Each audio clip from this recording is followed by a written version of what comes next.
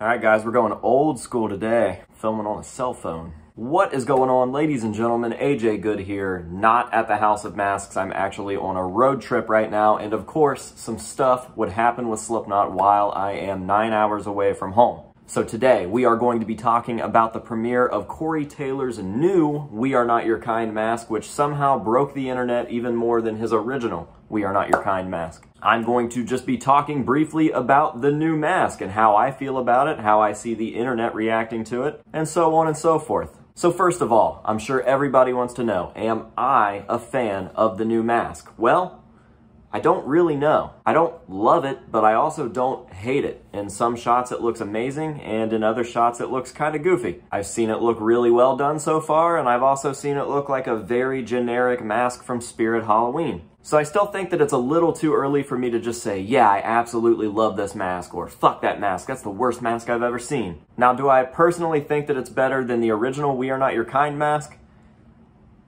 Yes and no.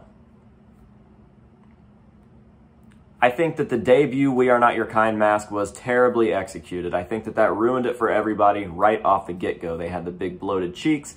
It just wasn't done right. It was a fantastic idea, in my opinion, that just wasn't well executed, and that seemed to stick throughout all of the changes that he made to that mask. Now, personally, I am far more of a fan of the later variations of that mask, like the Birth of the Cruel version, and pretty much any of the Stitched Mouth versions. I just think that it was a very cool concept. The clear with the ever-changing paint job underneath, I just really, really like that. So, the later versions, no. I still like the We Are Not Your Kind original debut stitched mask better than I like this new We Are Not Your Kind mask the V2, if you will. However, that could change. We've literally seen this new mask at one show, so who's to say what could happen in the future? Now, let's get on with some of my critiques or opinions on this new mask. Is it creepy? Yes.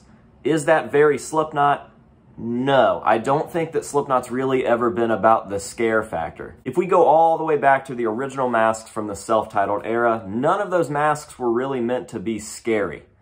And what I mean by that is uh, kind of like a haunted house type deal. Something that is purposely creepy. It just didn't happen. Clown's mask was literally a store-bought mask from Spencer's that was made in Germany in the 70s and 80s, and it was creepy because it wasn't meant to be creepy. Sid's gas masks, again, just military masks with some slight changes like filters removed or strapping redone. Not meant to be creepy, just creepy because they were creepy. This mask seems a little more on the Mushroomhead side of things, where it's like Corey's trying to fit a shtick, He's trying to fit a gimmick. He's trying to make something that is actually scary. And it sounds like that was his goal from the beginning because I remember him telling stories about this mask in interviews saying that his wife doesn't like it, saying that he's got something that's really going to scare the kids. However, I just don't personally see that as a very Slipknot thing to do. I don't think that their masks were ever meant to be spooky or creepy or scary, not on purpose anyways. So everything that I'm about to tell you, I'm sure that you have seen by now. As I mentioned, I am on a road trip right now and it was very late last night by the time that we finally saw photos and videos of this new mask. So I didn't get around to making a video until just before I upload this. So I'm literally shooting this editing and uploading straight. This isn't going to Patreon or anything like that. So I'm sure by now you've heard all the critiques about this mask. Yes, it looks like a baseball.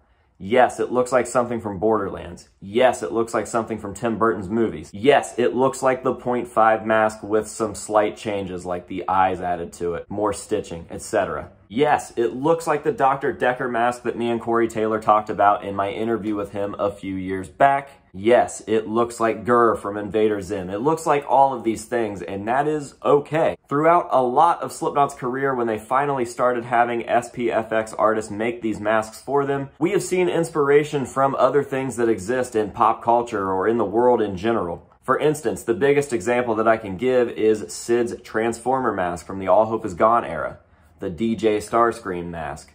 This is very, very clearly some sort of shout out or nod to Transformers, which Sid obviously loves. So I think that it is perfectly fine for Corey Taylor to get inspiration and take inspiration and meld it into a mask of his own. And you can very clearly see that it's not just a Dr. Decker mask. Like they made a lot of changes to it. I personally think that there are a lot of callbacks to other Corey Taylor masks, which Corey has kind of always done anyways.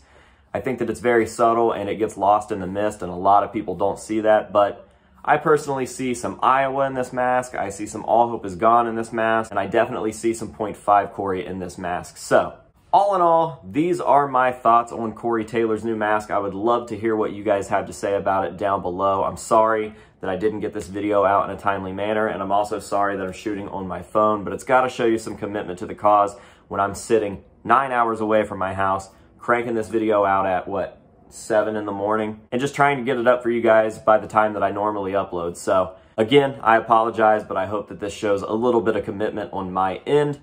And with all of that being said, that is going to be it for this video. Thank you guys very, very much for watching. I really hope that you have enjoyed it. And I'm looking forward to seeing some new We Are Not Your Kind Slipknot stuff premiering. I know that V-Man has a new mask, uh, slightly new mask. It's pretty similar to the one that he had before the break, but it is slightly different. So uh, we'll have to talk about that at a later point on the channel as well. Yes, I'm rambling at this point. So again, thank you guys for watching. And until next time, this has been AJ Good, not at the House of Masks, telling you to say no to drugs and alcohol and yes to new masks. And we'll see you guys later.